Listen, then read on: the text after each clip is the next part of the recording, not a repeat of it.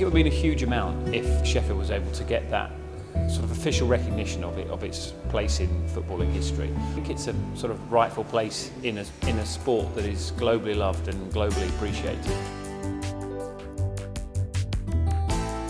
Bringing all these collections together shows what the, the depth of the heritage is here in Sheffield. It is a heritage for the whole of world football. The, the game that we know and we play and that's played all over the world now were actually forged in Sheffield. Uh, just down the road at the Adelphi Hotel, just round the corner. It's where it started. Uh, we've got Sheffield FC, we've got Hallam FC, we've got Sheffield Wednesday, we've got Sheffield United. It's massive, it just needs more recognition.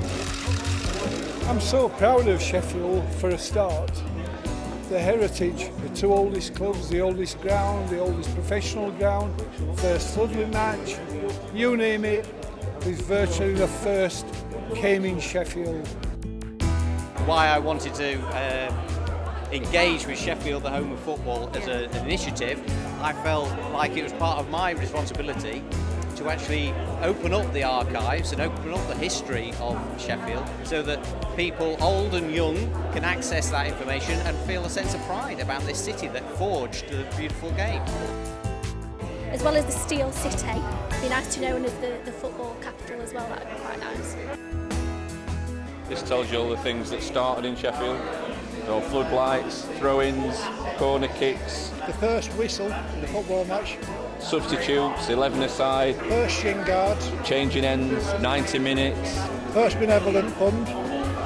These are all the things that were written in the original rules and, and sort of went on from there to the game as it is today. An app that takes you on a walking trail around all the historically important sites to do with the uh, birth of football.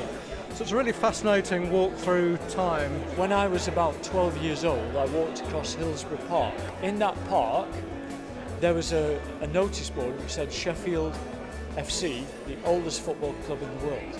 So ever since that time, I've really been interested even more in football's heritage, and that's why we're trying to make the world learn about Sheffield to this day.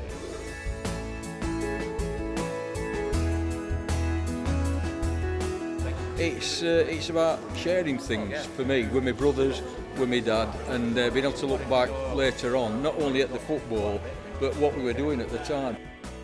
The FA Cup semi-final, um, Alan Cork refused to shave his beard and uh, Super Christy Waddle did the business as well.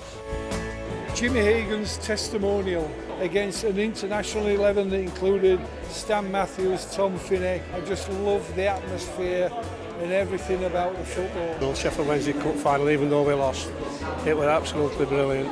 United uh, versus Cardiff I think United were 3-0 up in 15 minutes. They ended up winning 5-1. Curry and Badger and Woodward were absolutely magical. I used to come home after a match then and watch Up Along Cassidy on little black and white telly and have uh, bacon, egg and beans. So that's terrific memories. The last game with my dad before he died and sort of being stood on the cot when we lifted the fourth division championship and seeing tears sort of stream down my dad's face. And I remember saying to him, you know, you're crying because we've won. And dad said, no, I'm just crying because I never thought I'd see us playing Division 4.